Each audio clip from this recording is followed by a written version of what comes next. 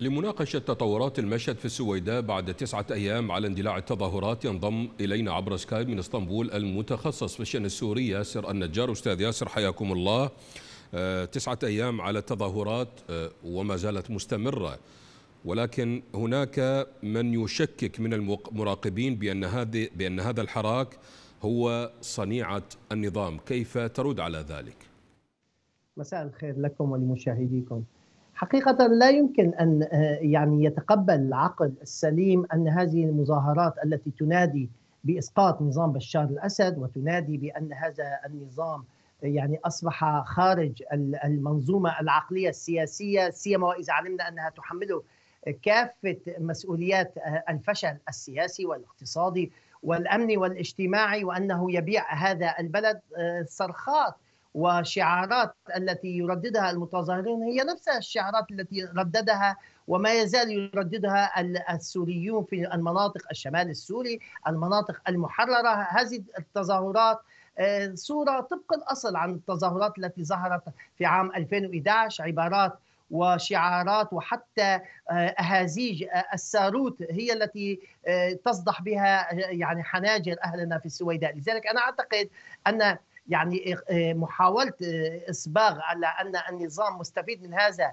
آه، الحراك هذا أمر غير منطقي. أما أن النظام هو مبتئس وهو يعني يفكر جليا كيف السبيل إلى التعامل مع هذا الحراك فعلا الأمر شائك بالنسبة له.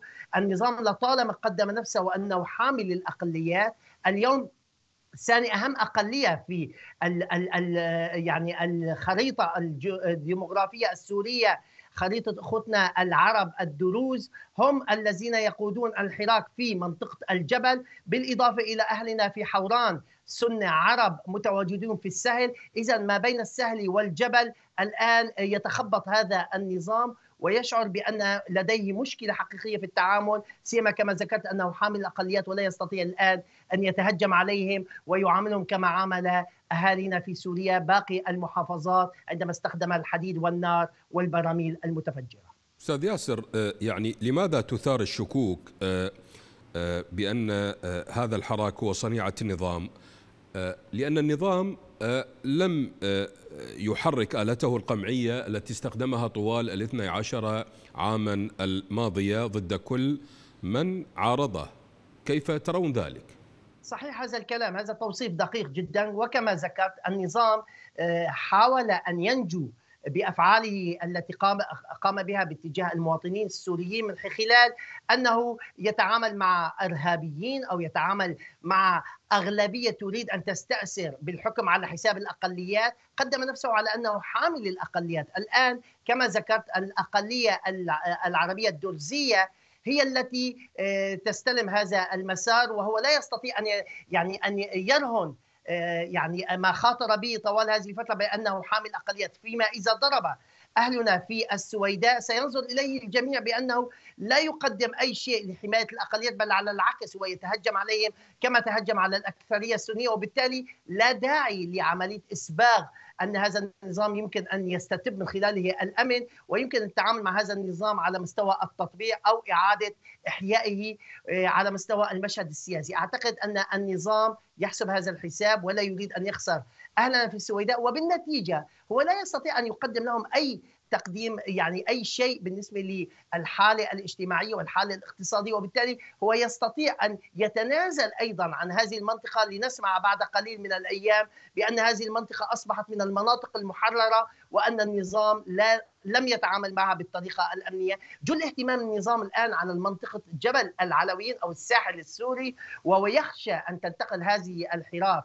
باتجاه سيما إذا علمنا أن هناك أصوات بدأت تعلو وناشطين بدأوا يقدمون نفس الأهازيج ونفس المطالب الشعبية إذا النظام لا يريد أن يخسر في النتيجة الأقلية العلوية التي ينتمي إليها وهو يستطيع أن يتعامل معهم بطريقة القمع والحديد والنار سيما أنه يقدم أنه جزء منهم ولكنه لا يستطيع أن يتعامل بنفس الأمر على مستوى باقي الأقليات. في النسيج السوري أستاذ ياسر هناك من يتحدث يقول أن تحركات السويداء هي بداية الشرارة لتغيير شامل وهناك من يتحدث ربما وجود خطة لإنشاء مجلس عسكري يستلم السلطة لتنفيذ مشروع دولي لإنهاء الأزمة وفق الخطة الأممية أنتم كيف تقرؤون المشهد استراتيجيا؟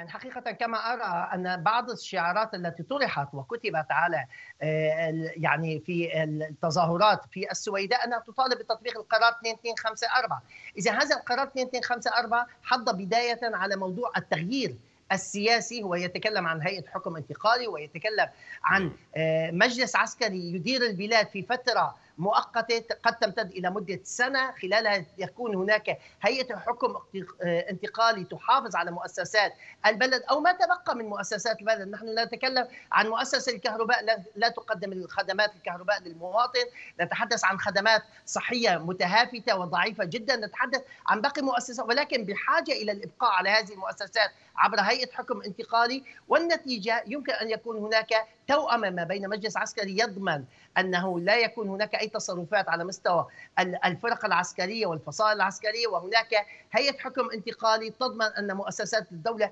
يبقى عليها بشكل تكنوقراط وبالنتيجة يتم التحضير بالقرار 2254 إلى ما يعرف بتعديلات دستورية للتحضير لانتخابات برلمانية. ولكن هذا المسار اعتقده أنه مسار يستمر لوقت معين يعني يحتاج إلى فترة من الزمن قد تكون إما بتغييب بشار الأسد عن نعم. المشهد عبر انقلاب عسكري أو يكون عبر عملية تنحي بشار الأسد بإرادته هذا وأعتقد أنه صعب الأمر أو قد يكون عبر اغتيال بشار الأسد، إذا بالنتيجة غياب بشار الأسد عن المشهد نعم. هو السبيل إلى تحقيق القرارات الدولية وهو السبيل إلى عملية شاملة تغيير سياسي في سوريا واستقرار البلاد. أستاذ ياسر في خضم هذا التحرك الشعبي آه، أين تقف الأطراف الفاعلة؟ يعني إيران الولايات المتحدة روسيا وأيضا تركيا.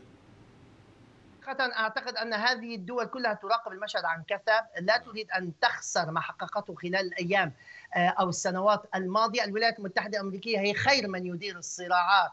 في سوريا. أعتقد أن روسيا انشغلت بنفسها في حربها في أوكرانيا. أما بالنسبة للإيراني فهو يحسب حساب هذا المسار آه، على على أساس أنه أحد السيناريوهات. لذلك وجدناه أنه آه، بات ينشغل في مسارات أخرى على منحى اجتماعي ومنحى اقتصادي وأيضا منحى عسكري. ولكن المنحى العسكري هو لأجل زمني محدود. أعتقد أن الدور الدولة التركية هي أن تحافظ على حدودها الشمالي الجنوبية أي شمال سوريا. ولكنها غير يعني متدخلة في التفاصيل على المستوى المنحى الحل السياسي. هي لن تنشغل عن هذا المسار هي ستجلس على طاولة الحل السياسي النهائي ولكن بالنتيجة تركيا الولايات المتحدة الأمريكية وإيران يراقبون هذا الحراك ويطرحون أنه سيكونون على كل الأحوال مستفيدين في أي حال سواء حل عبر القرارات الدولية يكون يضمن لأن يكون هناك انتقال سياسي وتكون الولايات المتحدة الأمريكية حققت ما يمكن تحقيقه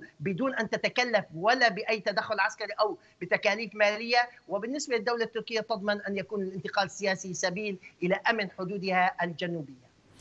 أستاذ ياسر المعارضة السورية قصفت مواقع تابعة لقوات النظام في هذا السياق هل هل تعتقد أن حراك السويداء شجع المعارضة مرة أخرى على التحرك بشكلها العسكري؟ حقيقة ما يحصل على الحدود يعني التماس في مناطق الشمالية ما بين على على سبيل التحديد في إدلب هي مناطق يعني تشهد عمليات اختراقات من الطرفين. لطالما كان هناك تسللات من قبل النظام وهناك مراقبة من قبل الثوار على الأرض أعتقد أن الثوار على الأرض اليوم يردوا بعملية على عملية سابقة. أعتقد أن مثل هذه يعني الحراكات الثورية والشعبية التي أيدت حراك السويداء أتكلم عن الحراك والتظاهرات في إدلب في عزاز في المناطق الشمالية هي سبيل أيضا إلى تقوية الحس النضالي لدى الثوار على خطوط التماس من أجل الاستمرار وعدم التفريط بأي مساحة باتجاه قوات ميليشيات طائفية ترعاها الحرس الثوري الايراني وإيران. عبر سكاي من إسطنبول المتخصص في الشأن السوري ياسر النجار شكرا جزيلا لكم.